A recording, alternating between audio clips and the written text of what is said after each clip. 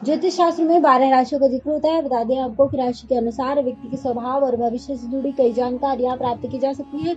वहीं आज हम अपने इस रिपोर्ट में बात करने जा रहे हैं दो राशियों की, जिनके लिए बन रहा है धन लाभ का योग।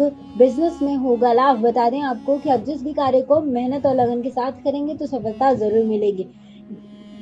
जिस भी कार्य में हाथ डालेंगे, मेहनत और लगन के साथ कार्य करेंगे तो सफलता ज़रूर मिलेगी, चाहे बिज़नेस का क्षेत्र हो, चाहे जॉब का क्षेत्र हो, चाहे निवेश का क्षेत्र हो, चाहे स्टडी या पढ़ाई का क्षेत्र हो, चाहे किसी कॉम्पिटिशन या प्रतियोगी परीक्षाओं का क्षेत्र हो, या चाहे आपका घरेलू बिज़नेस हो, चाहे आपका कोई नया स्टार्टअप हो, बता दें आपको कि आप जिस भी कार्य को मेहनत और लगन के साथ करेंगे तो सफलता ज़रूर मिलेगी। जिस भी कार्य में हाथ डालेंगे, मेहनत और लगन के साथ कार्य करेंगे तो सफलता ज़रूर मिलेगी। बता दें आपको कि ग्रह गोचर की चाल में परिवर्तन होता रहता है, जिससे कि मनुष्य के जीवन में कई तरह के बदलाव देखने को मिलते हैं। जैसा कि हमने बताया कि ज्योतिष शास्त्र में बारह राशियों का ज़िक्र होता है, बता दें आपको कि ग्रह गोचर की चाल में परिवर्तन का सीधा प्रभाव इन बारह राशियों पर पड़ता है। तो ये बता दें आपको कि इन दो राशियों के लिए बन रहा है धन लाभ का योग बिज़नेस में होगा लाभ।